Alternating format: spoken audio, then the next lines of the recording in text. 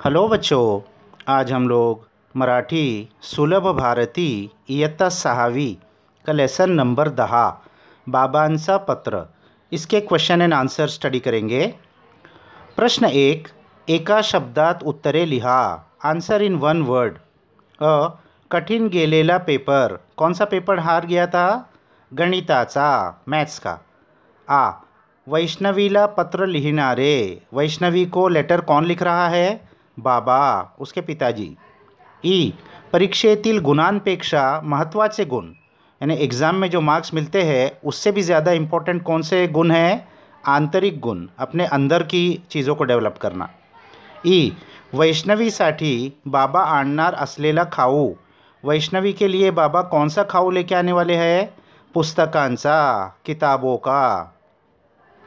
प्रश्न दोन, एका वाक्यात उत्तरे लिहा। Answer in one sentence. अ आईने दूरध्वनीवरून बाबांना कोणता निरोप दिला? माँ ने फ़ोन से पिताजी को क्या बताया? उत्तर आईने दूरध्वनीवरून बाबांना निरोप दिला की वैष्णवीचा सहामाहीचा गणिताचा पेपर कठीण गेला आहे त्यामुळे ती फार निराश झाली आहे आणि रडतही होती. तो माँ ने फ़ोन से पिताजी को संदेश दिया कि वैष्णवी का सिक्स मंथ्स का मैथ्स का पेपर बहुत हार्ड गया है, उसलिए वो बहुत निराश हो गई थी और रो भी रही थी। आ, बाबांनी दूरध्वनीवरून बोलने का पसंद के केले नाही पिताजी ने फ़ोन करके बात करना क्यों पसंद नहीं किया?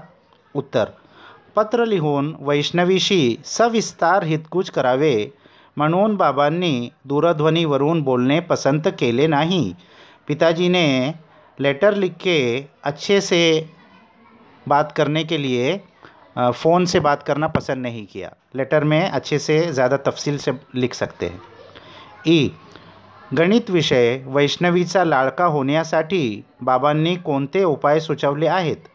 मैथ्स का सब्जेक्ट? वैष्णवी का बहुत ही फेवरेट सब्जेक्ट बन जाए, इसके लिए क्या सजेशन दिया बाबा ने उत्तर, गणित विषय, वैष्णवीचा लाडका होण्यासाठी बाबांनी तिला गणिताशी मैत्री करणे, संकल्पना, संबोध व क्रिया नीट समजावून घेणे आणि उदाहरणे सोडण्याचा चांगला सराव करने हे उपाय सुझवले आहे. तो पिताजी ने उसको गणित से दोस्ती करने का, गणित में जो संकल्पना, संबोध और क्रिया होती है, यानी जो उसके बेसिक्स होते हैं और जो उसमें फ़ंक्शंस होते हैं कंसेप्ट होते हैं, उसको अच्छे समझ, उसको अच्छे से समझने और उदाहरण सोडण्याचा सराव, यानी प्रॉब्लम सॉल्व करने की अच्छी प्रैक्टिस करो। ये सुझाव दिया। प्रश्न तीन, खालील शब्दांचे समानार्थी शब्द लिहा। नीचे जो वर्ड्स दिए हैं, इसका मीनिंग्स लिखना है सिनोनिम्स लिखना है। नृत्य, नाच। सुंदर, सुरेख। अवघड, कठिन। उशीर, विलंब। ये इसके मीनिंग्स है। प्रश्न चार, खालील शब्दांचे विरुद्धार्थी शब्द लिहा।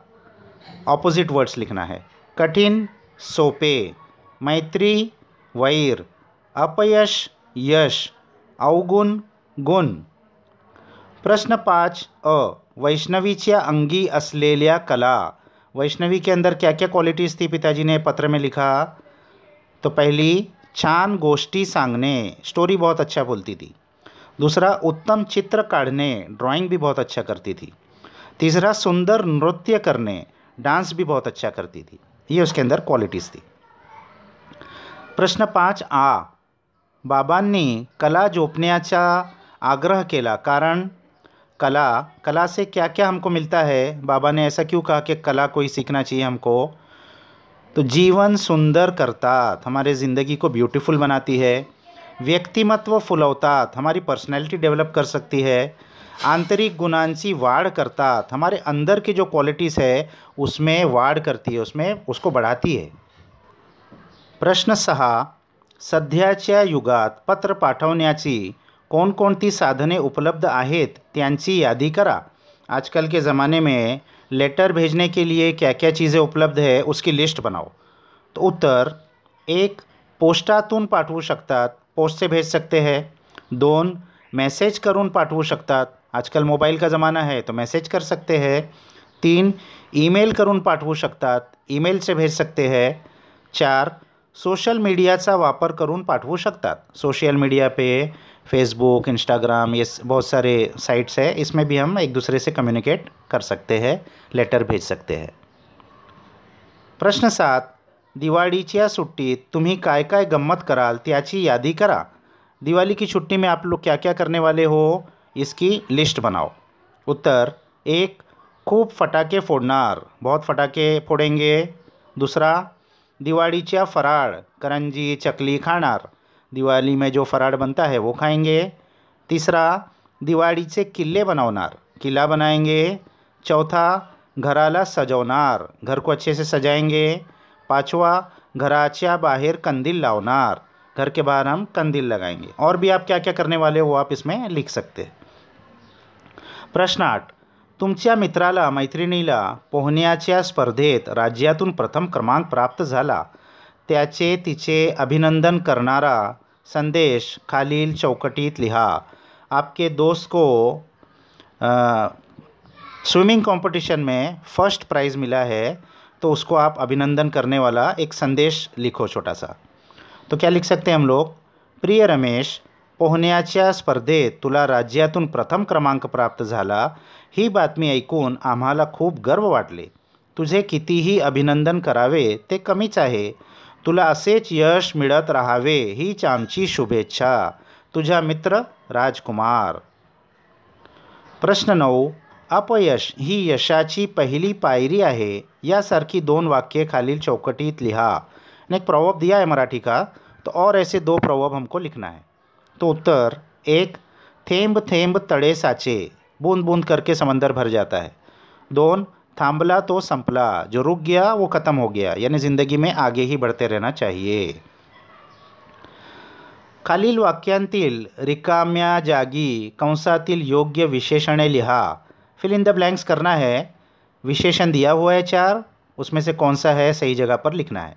अ, हिमालय डैश पर्वत आहे तो हिमालय कैसा पर्वत आएगा? उंच पर्वत आहे. आ, कंपास घ्यायला आईने मला डॅश रुपये दिले.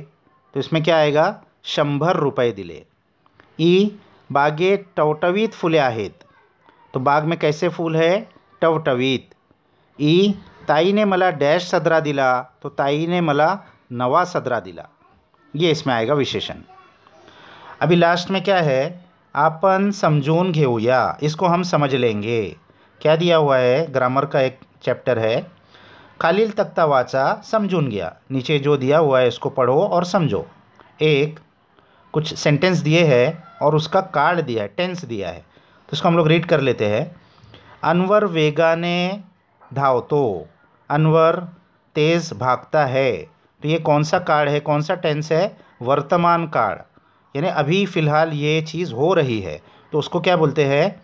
प्रेजेंट टेंस, मराठी में वर्तमान काल धावतो यानी इस वक्त वो भाग रहा है. दूसरा, काल अनवर वेगाने धावला, कल अनवर बहुत तेज़ी से भागा था. तो ये कौन सा कार्ड हो गया? ये क्रिया हो चुकी है कल.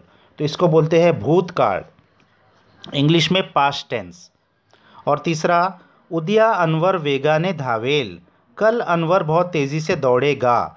तो ये क्रिया कल होने वाली है. तो इसको क्या बोलते हैं? भविष्य काळ इंग्लिश में फ्यूचर टेन्स तो क्रियापदा क्रियापदाच्या रूपावरून वाक्यांतील काळ ओळखता येतो. काळाचे मुख्य तीन प्रकार आहेत वर्तमान काल भूतकाल और भविष्यकाल क्रियापद यानी वर्ब वर्ब का जो रूप सेंटेंस में आया है, उससे हम लोग ये मालूम कर सकते हैं कि ये कौन सा टेंस में यूज़ हुआ है। तो क्या तीन टेंस है? वर्तमान काल प्रेजेंट टेंस भूतकाल पास्ट टेंस और भविष्य काल फ्यूचर टेंस तो इसको हमको अच्छे से समझ लेना है। आगे चैप्टर्स में इसके एग्जाम्पल्स आएँगे सॉल्व करने के लिए। तो ये लेसन यहाँ ख़त्म हो गया बच्चों। इसको अच्छे से अपने बुक्स में लिख लो।